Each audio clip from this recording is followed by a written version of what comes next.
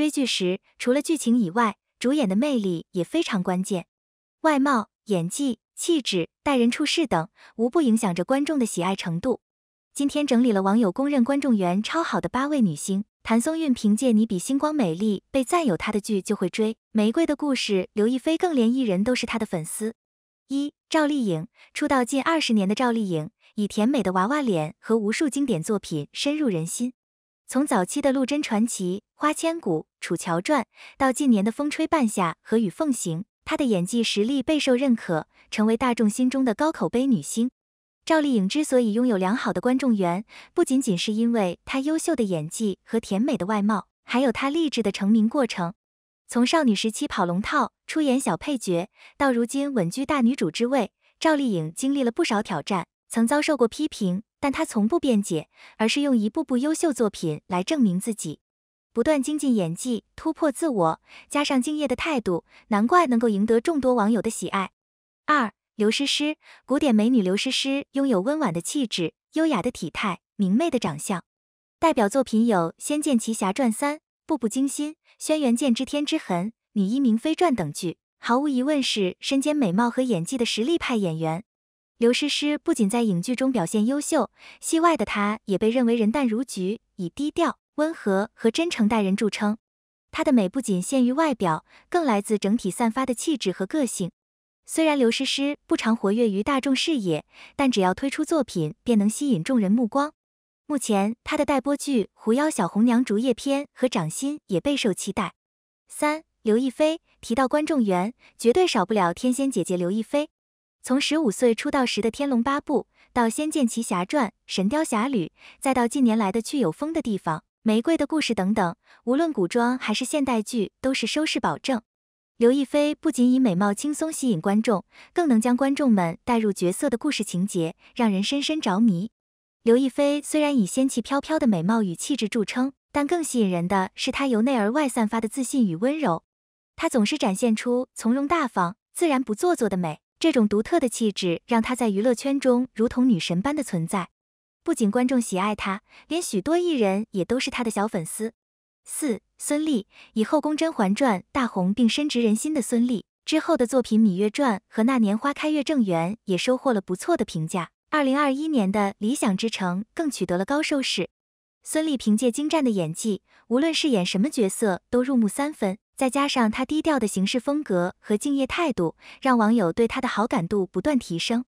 虽然近年来孙俪不常出现在大众视野，就连微博也很少更新。但这反而让人感觉他不过度营业或商业化，他低调且真诚的热爱演戏，即使作品不多，依然被发现活跃于几个剧组中，坚持推出高质量的作品，比起量更注重在精。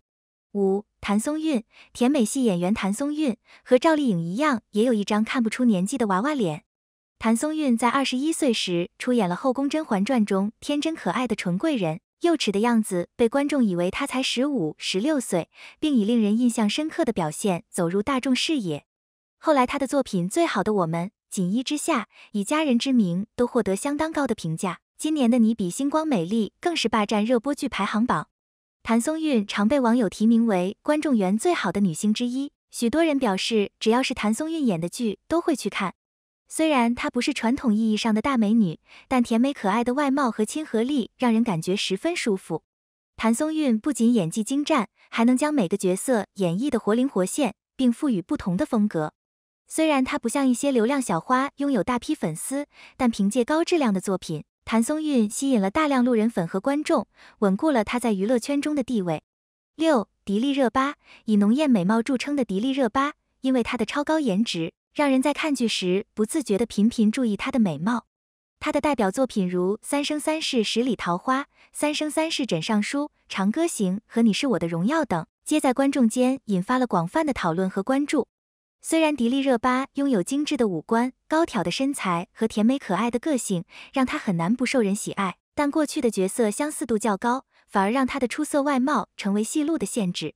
不过，她在待播剧《萧启清壤》和《利剑玫瑰》中，选择了跳脱以往甜美形象的角色设定，尝试展现更多不同的面貌，让观众对她的转型充满期待。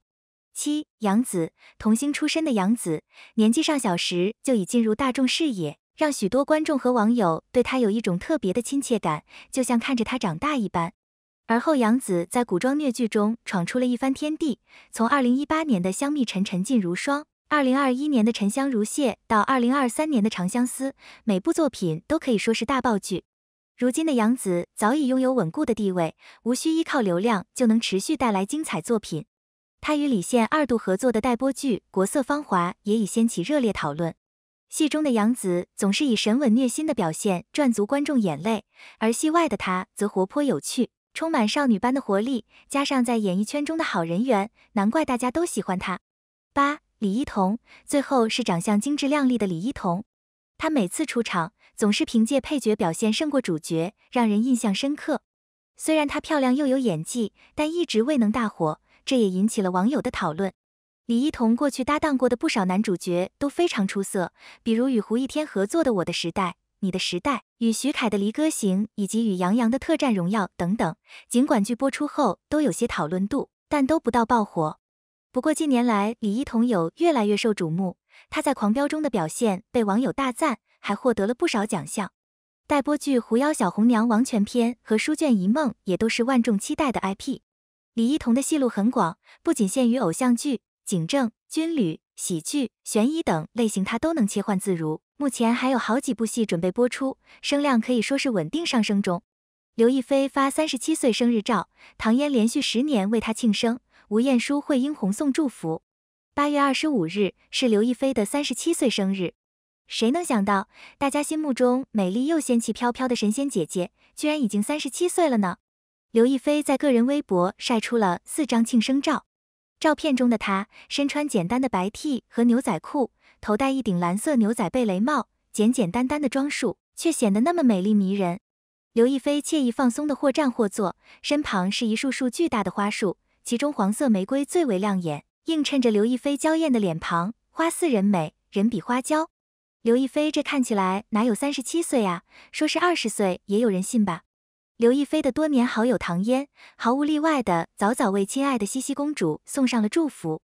唐嫣发文说：“一年又一年，爱你如初，生日快乐呀，我亲爱的茜茜公主，愿你自在随心，快乐做自己。”随文还附上了刘亦菲身穿小花裙的美照。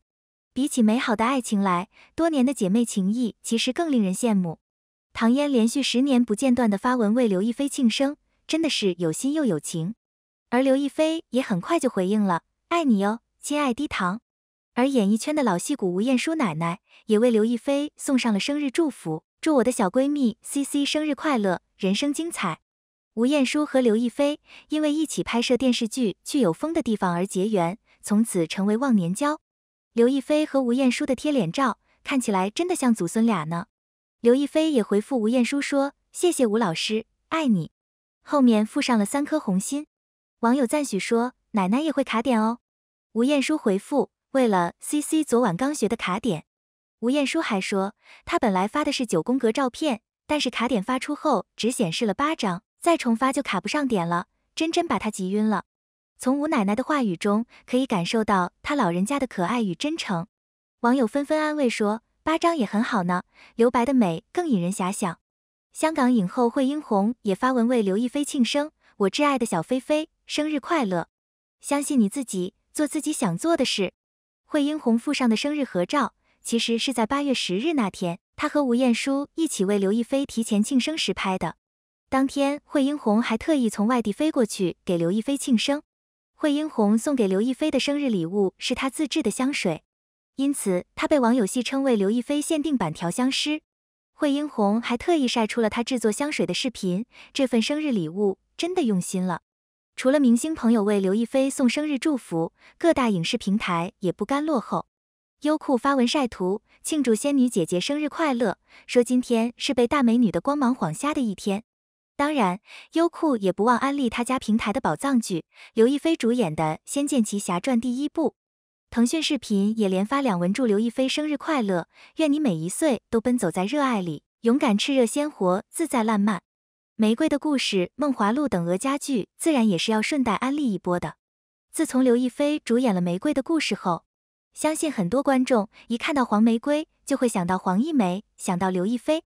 刘亦菲也拍了很多张与黄玫瑰的合照，从此成为热烈奔放、明媚鲜艳的黄玫瑰的灵魂人物。淘票票和猫眼电影也相继发文祝福刘亦菲生日。淘票票的生日文案写得好，有文采，盘点了刘亦菲出演过的经典角色，并且罗列出了刘亦菲的每个经典角色的特点。从小龙女到王语嫣到白浅，再到花木兰、赵盼儿、许红豆、黄一梅。刘亦菲的每个角色特质都不一样，不同的角色展现了刘亦菲不同的气质形象，或清雅出尘，或仙气飘飘，或果敢坚毅，或清醒独立，或平静自得，或追求自由与率真。而最令女性观众喜欢的，或许还是世界在我面前，指向我想去的任何地方的黄一梅。三十七岁的刘亦菲的风格堪称百变女郎，可以清纯天真，也可以甜美可爱。可以是帅气干练的机车风，也可以是成熟冷艳的时尚女王。希望刘亦菲可以为大家带来更多精彩多样的女性角色，期待她的下一部剧《近海新生》。